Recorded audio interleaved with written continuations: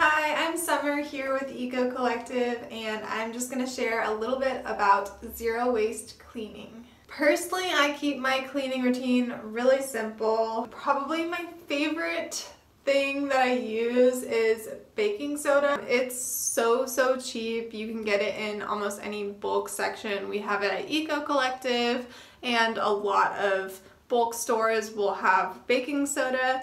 Um, seriously, you can get a giant jar of it for like a dollar. It basically just scrubs everything clean. Like what you might have been working at for however long with whatever cleaning product you're using, just throw some baking soda on there. You will get the grime off. So that's my number one hero, baking soda. Very simple. I know a lot of people use their own DIY recipes using ingredients like Castile soap or white vinegar, which I've had good experiences cleaning with in the past. Vinegar is a great disinfectant and is really good if you dilute it with water for things like cleaning the floors. I will actually link an article in the description that's really full of DIY cleaning recipes for pretty much every use you can think of. All of those recipes are pretty much going to be using ingredients like Castile soap, baking soda, and white vinegar and water. It's super simple. But for now, I'll just show you my routine. Personally, I don't love making my own cleaning products, so I actually use Blueland. This is just one example. Blueland makes three different types of cleaners that actually have just a tablet that you drop in water and you reuse this bottle again and again. I've been using this for a few months now. I have their glass and mirror cleaner which is great for like polishing surfaces and I also have the bathroom cleaner which the ingredients in this one are supposed to help reduce mold in the bathroom and I have found that it's pretty effective. I can use this by itself for something like cleaning the toilet or cleaning the bathtub and it does a really good job of cleaning those surfaces and if the bathtub is extra grimy I'll just use my handy dandy baking soda. Last type of Blueland product and probably the one I use the most is the multi-surface cleaner as you can see, I need to refill mine soon.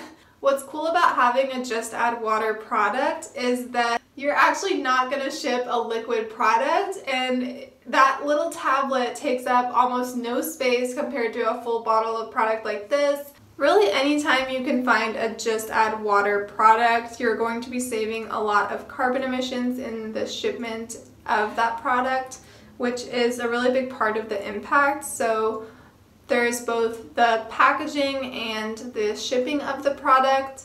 The packaging, often cleaners come in single-use plastic bottles and whenever you can avoid that and reuse a bottle, that's great.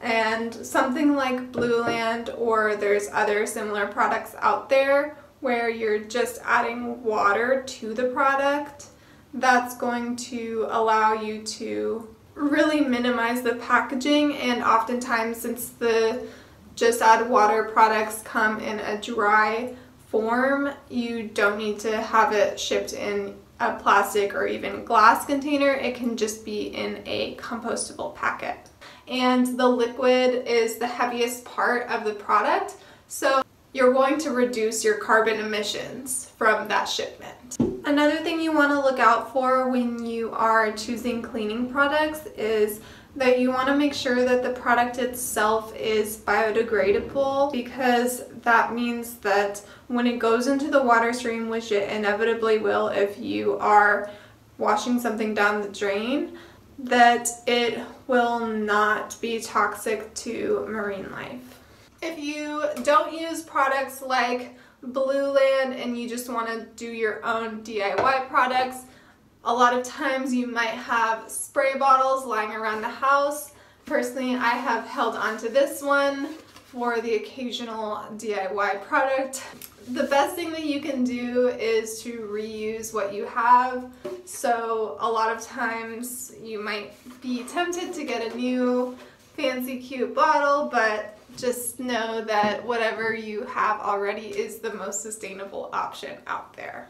For cleaning the toilet, I have this lovely toilet brush. The brush itself is completely compostable. The bristles are Tampico fiber, which is a type of plant fiber. I can't believe I'm holding this toilet brush so at eye level. And then you can just use this wooden stand and what's nice about this toilet brush too is it actually gets to fully dry because it's just hanging on this stand whereas in past toilet brushes that I've used they kind of like sit in the moisture and to me that's really gross. For cleaning, I often use Swedish dishcloths, especially if I'm wiping up a spill because it literally is like a spill eraser. It just soaks up all of the liquid. I think that this holds about 20 times its weight in liquid, which is kind of crazy. And yeah, now that I've started using these, I pretty much can't go back. If I spill something, I'm like, where's my Swedish dishcloth? And so they're really cute. They come in cute patterns. They are completely compostable. They're just made of cotton and cellulose plant fiber. So it's really nice. It's kind of a great alternative to both a sponge and a dishcloth.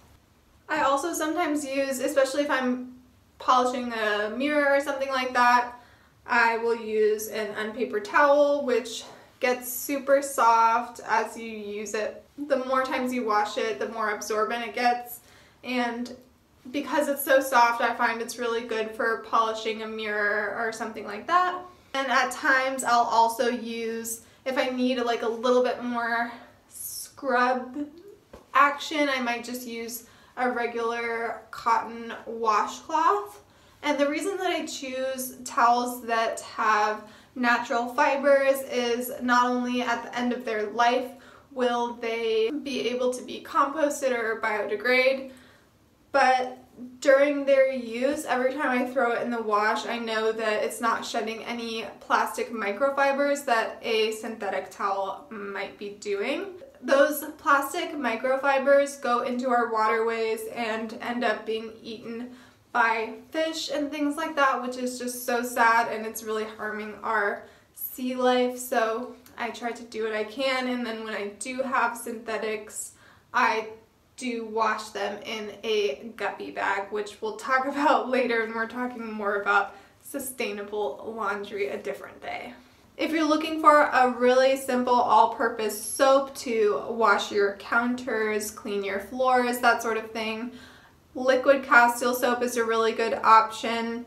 We have it at the Eco Collective bulk section in a bunch of different scents and it's really concentrated so again similar to a just add water product it is going to go a long way for a small amount.